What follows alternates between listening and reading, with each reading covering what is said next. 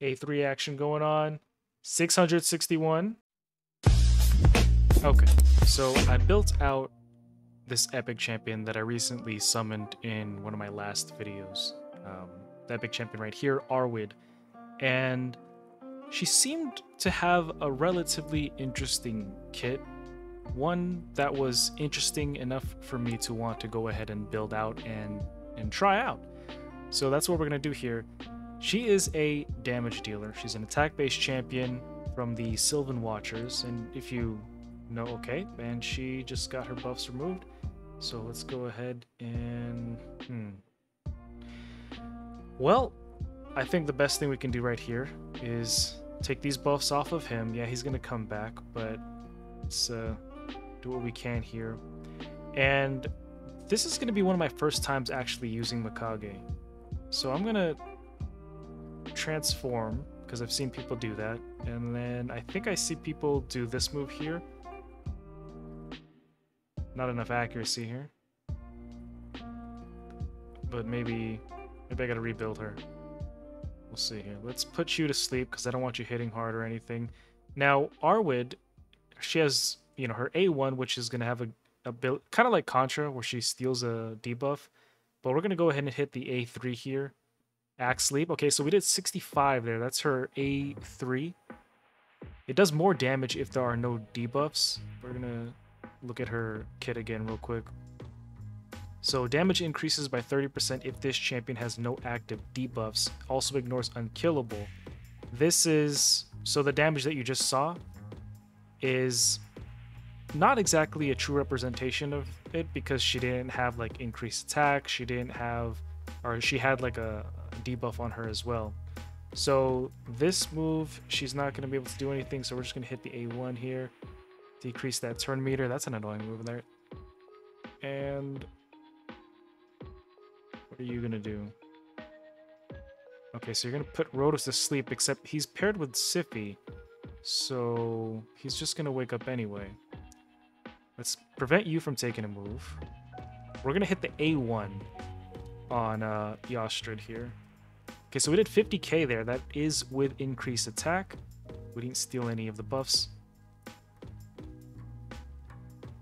So for the Sylvan Watchers, one of the main things that I was thinking about when building her and wanting to you know, do the showcase was to um, kind of talk to you guys about how Sylvan Watchers is probably one of the harder, what do you call it, um, factions to deal with.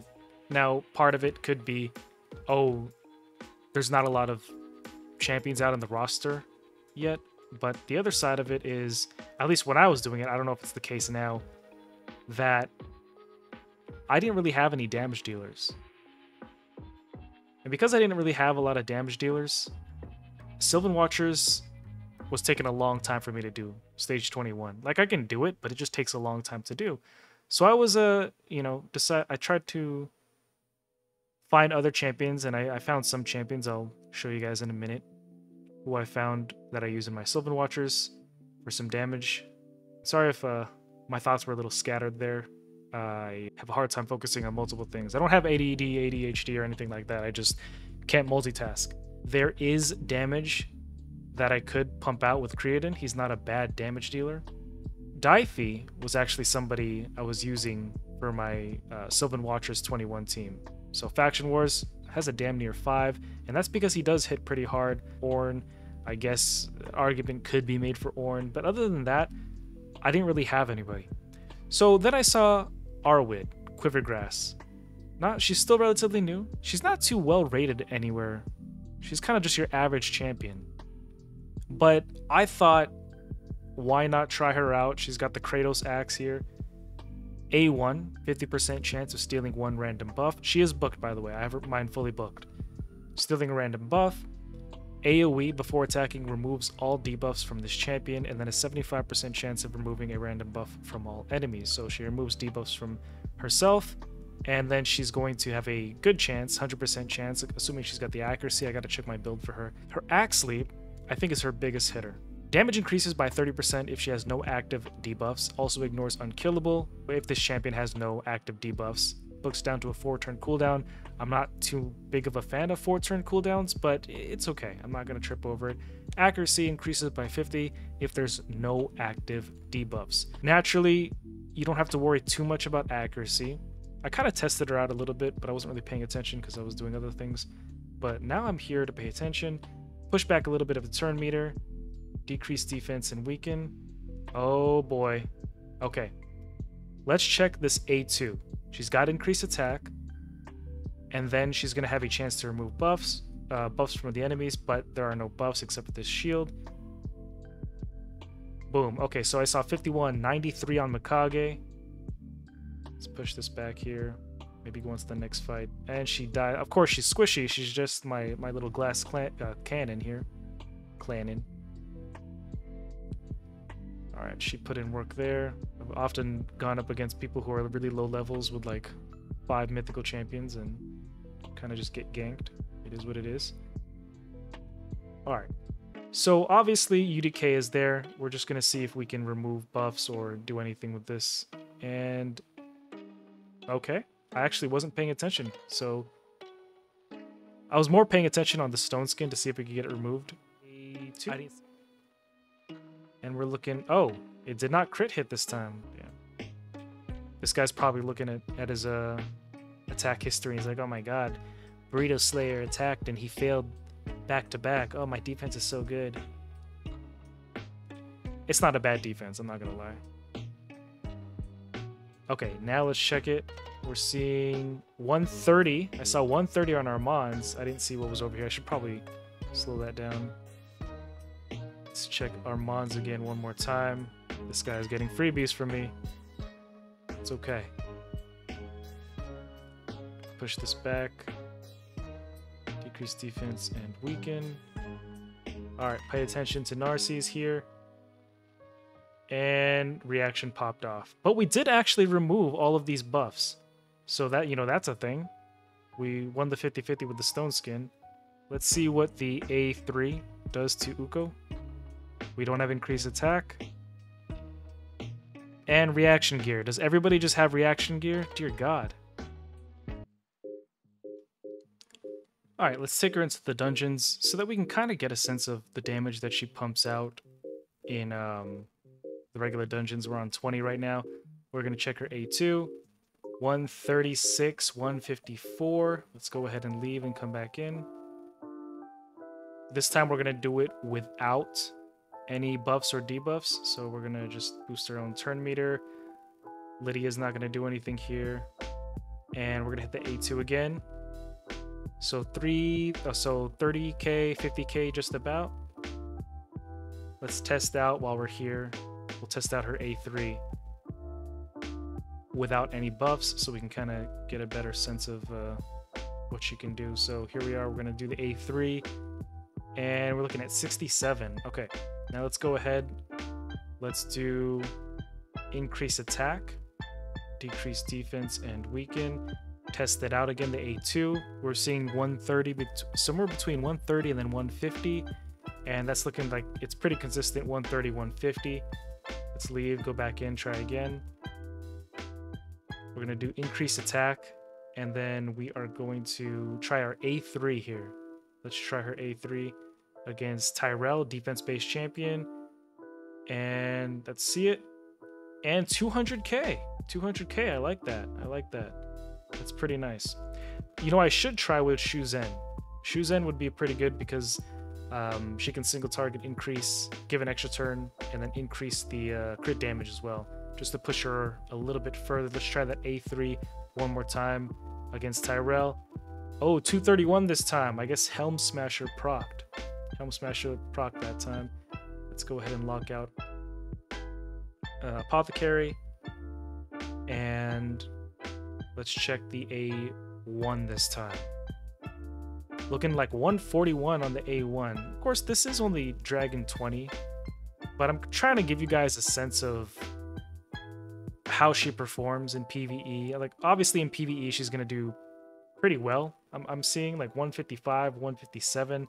That's pretty nice. In PvP, it's a little bit different just because people have especially if you're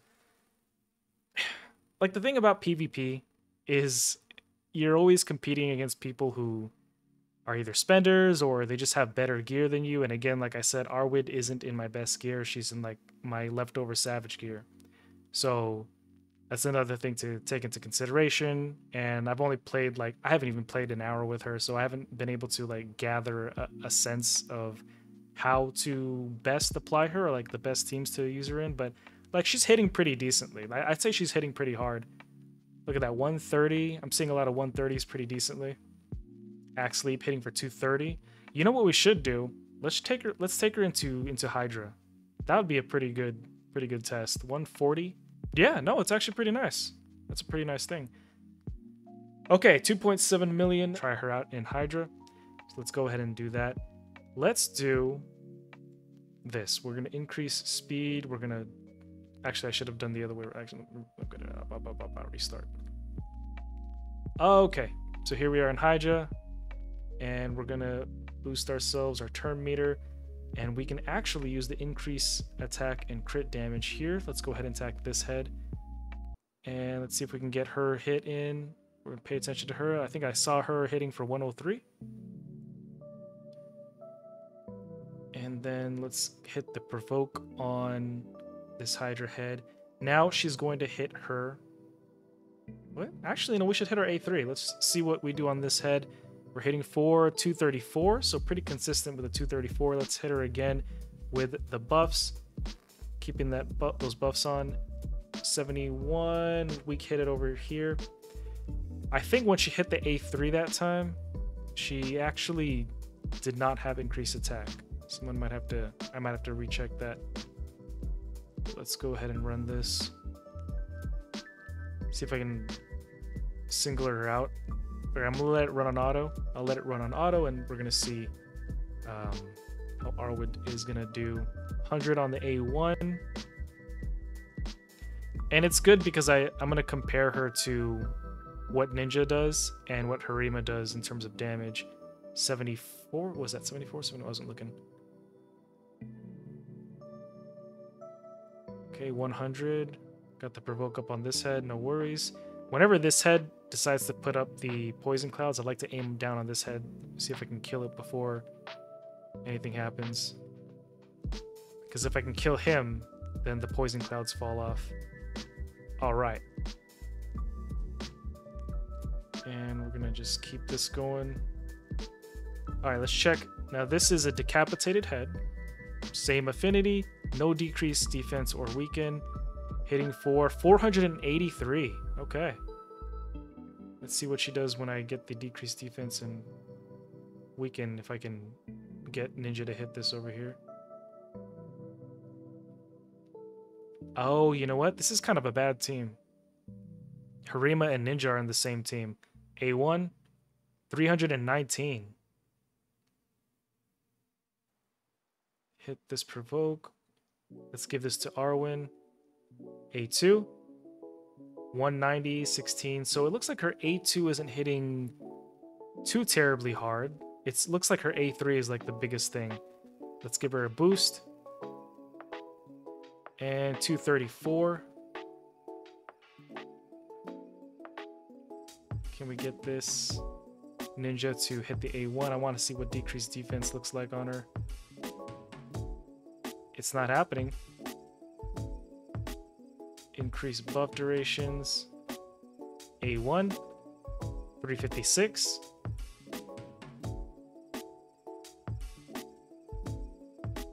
Come on. Nope, no decreased defense. Maybe I should try on this one.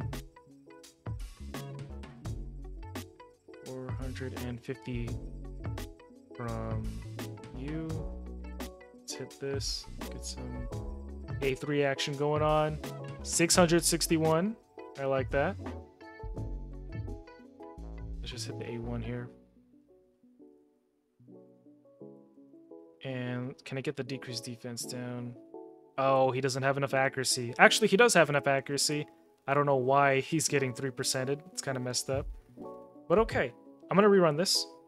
I'm going to let it run on full auto. Just going to leave it hands off. We'll take it to turn 20 take it to turn 20. I'm not going to target anything, and we'll see who has more damage by the end of it. We'll just let it let it run. Let it ride. See what happens. I'll get back to you. All right, so I'm gonna end it here. I got to turn 24. I apologize, I wasn't paying attention to it. And uh, let's see, on hard, let's look at the comparison. So Arwydd did 3.6 by herself, and Harima did 5.5. Now I think that has to do a lot with Mikage. I'm gonna go ahead and go back into hard. This time we're going to use Mithrala in the lead. That way we can get a consistent increased attack across the entire team. Try to keep things just about the same, but this time we're also to have Hex. And we're not going to have Mikage in to do the ally attack on her A1. Let me just go make sure that I preset her moves here and everybody else is still Gucci. All right. So we're hitting hard. I'm going to let it go on full auto again and then we'll take it to 24 and yeah we'll see how much she does this time the other thing did you guys see that her a2 landed on Mithrala. so one of the things that i was wondering right was would you guys whoever's using shuzen would you guys put somebody like arwen or even ninja who isn't who, who doesn't have an aura or an aura that's applicable to hydra like I think Arwen's uh, aura applies to faction wars, but like, would you apply it, or would you put like Harima in the leader position where her aura only applies to arena battles, over getting somebody like I don't know uh, Duchess, who gives a 19% boost, or Arbiter or not Arbiter, uh, Mithrala, who gives an accuracy boost aura for the entire uh, squad. What would you guys do? because I kind of want to have some my damage dealer in the leader position when I do use Shuzen, just so that every time she does place that buff, she's giving it to whoever that damage dealer is, like Harima, for an example. Because there's no sense really putting it on somebody like Mithrala, right? What is she gonna do with increased crit damage? Like she can, Mithrala does do, uh, you know, some damage, but she's not like a nuker or anything she's not gonna out nuke somebody like Krizier or Arwen. You know what I mean? So what do you guys think? Let me know. I'll get back to you at stage 20 or when I get to boss count 24. Okay, so we are now approaching turn count 24. Gotta wait for the Hydra head. Okay, so let's end the battle there. That's 24. 17 mil. Looks like Harima still out damaged everybody. And Ninja came in second, and Arwood came in third which was, you know, to be expected. Surprisingly, actually not surprisingly, because Mithrala has the Hex, and that damage on Hex counts towards Mithrala. So, uh, you know, keep that in mind. But yeah, on hard, um, Arwood is a pretty decent damage dealer. She is in Savage and two broken pieces. Here are the pieces of gear that I have. Again, this is just leftover pieces of gear that I had for Savage that I, I wasn't really using on anybody. We have crit damage. We're focusing on crit rate, crit damage, and attack, making sure that she is crit capped, hitting as hard as she possibly can. There is room for improvement here with oils, re-rolling these whenever I decide to do Sand Devil again. We got attack on attack on attack on Titan over here. Crit damage with crit damage. Accuracy is okay, I think, especially when we're considering her A1, where we do need accuracy to steal that buff. If I'm wrong, let me know but I'm pretty sure that's how that works. Don't need too much accuracy, I think, because oftentimes we're not going to have debuffs on her because of her built-in A2 ability. One thing that I was noticing was that Arwin, Arwydd, not Arwin, Arwydd, Quivered Grass, felt kind of slow. I felt like there were off there were a lot of moments where I, I wanted her to go, but she just wasn't going. And I think I could improve by increasing her speed here, but as you can see, Priorities are crit damage, attack, speed, etc. Fully booked. Right here, you see she's fully booked. That aura is for 30%. And then if I could get a blessing on her, I think I would either go Heaven Cast if you can get enough buffs on her. If you get a team on her where, she can do more damage according to uh, buffs. You could also do Phantom Touch. I like Phantom Touch. She's going to do more damage based on how much attack she has. Cruelty is not a bad choice for PvE content. It does stop after about 20%, and if you have other champions that do Cruelty, you might want to consider something else. Maybe Phantom Touch might be the better one in the long run. But ideally, if I could get like a six star blessing for her, I'd definitely go Crushing Rend so that every hit will ignore a percentage of the target's defense plus extra speed. These are the masteries for her. Do not blindly copy masteries. Feel free to go ahead and take Helm Smasher though. And here are the final stats on her 5k attack, 250 crit damage, 220 speed. These are like the standard baseline stats that I look for in a damage dealer. Do I think she's a great champion? Yeah, I think she's a pretty strong epic champion. Is she worth building? Yeah, I think she's worth building. Is she a great damage dealer? Yeah, I think she's a great damage dealer. Would I recommend that you go build her out? Yeah, build her out, especially if you don't have any damage dealers for Sylvan Watchers.